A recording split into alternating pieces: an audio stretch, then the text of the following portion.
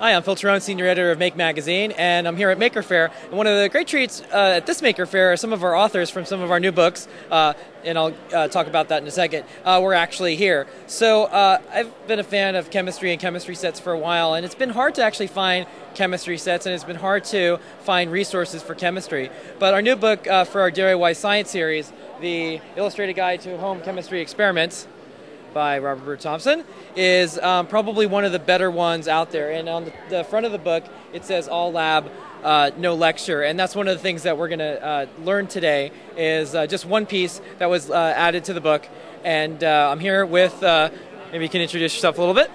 Hi, I'm Bob Thompson. I'm the author of Illustrated Guide to Home Chemistry. And Phil asked me to talk a little bit about one of the changes we made uh, very close to the time the book actually went to the printers. And it was we had to add a note because a couple of the experiments used crystal iodine. And just before the book went to print, the, the DEA, the Drug Enforcement Agency, changed the rules and made crystal iodine a list one compound.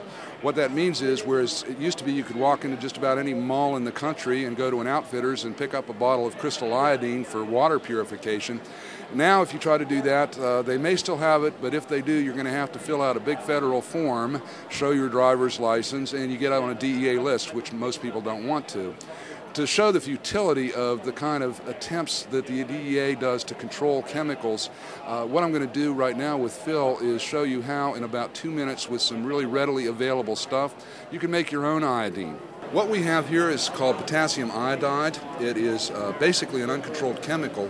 You can, uh, I could order a ton of this stuff, literally, have it delivered to my house, and the only one that would raise their eyebrows would be my wife. There's just, there's no paperwork to be done on it or anything. What I'm going to do is dissolve a little bit of this potassium iodide, and ordinarily, of course, working in the lab, I would weigh it out, but I'm just going to eyeball it right here. And Bob, what would this normally be used for? Uh, this this particular potassium, iodide.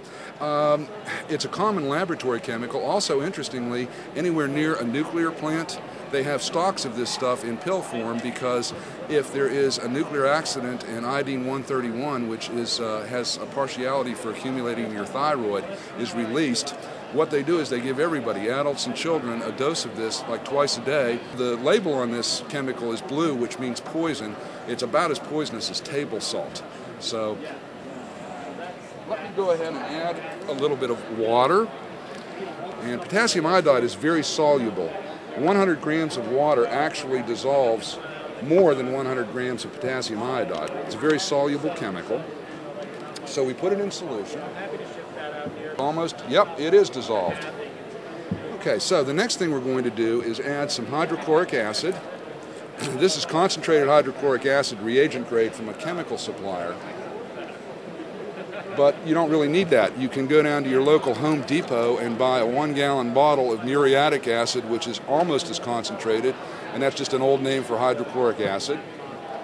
So we swirl those together to mix them.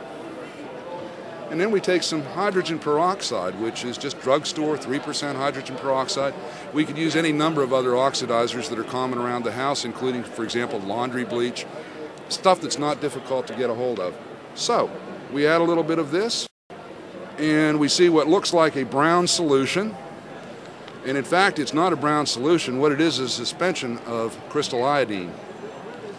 We can filter the stuff through a coffee filter and we've just bypassed the DEA's list one restriction on crystal iodine.